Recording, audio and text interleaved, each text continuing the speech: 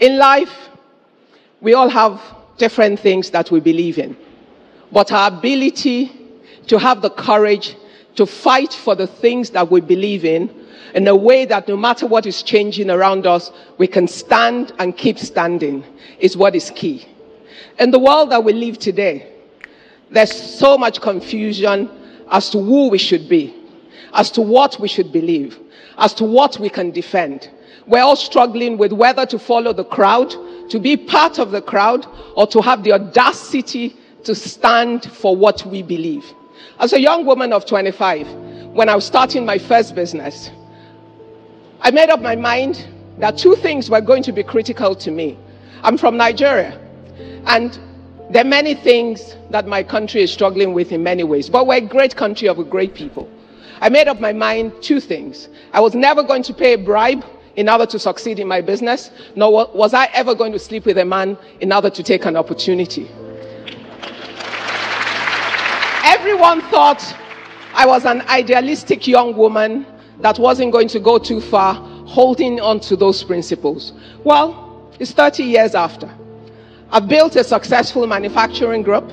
On top of that, my country got to a point where corporate governance became a major part of the business landscape. And it became important to find people who had not only good technical track record, but people of integrity, of character, and people that could be trusted. Over the period when I'd been building my business, I had built a reputation for those things. I did them for myself because it was based on what I believe and on my faith as a Christian. And as it got to a point where they became the real tools that everyone was coming for, I got more phone calls and invitations to join boards of from multinationals to major corporates than I knew what to do with them. What does that tell us? It's worth fighting for what you believe. It's okay to stand alone even when nobody else agrees with you. It's all right to have to believe in something that you know is right and to stand in every way that you can, no matter what the environment is around you. If the world needs people who have courage of conviction, it is now.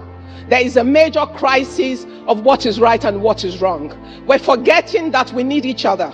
We're forgetting that we need to look out for each other. We're forgetting that except the least of us is taken care of, that the best of us cannot survive.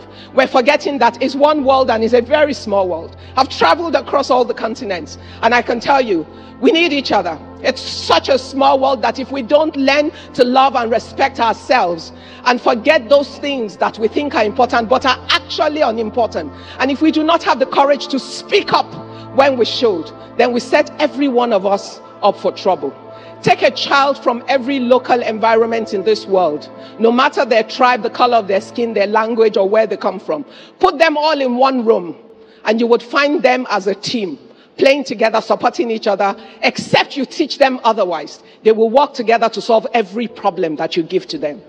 That's what we need to be. We need to go back to being children of the world again. We need to be a people who believe in love, in faith, in kindness, in, in caring for our neighbors in a way that together we can find the solution of the world. We need to understand that not a single one of us is an island to itself, that every single one of us holds a piece of what is required to build the right world where we can all survive. Whether you're a business person or you're a career person or you're someone who is working in whatever field, we have one home and we share it together. We either protect it, we fight for it.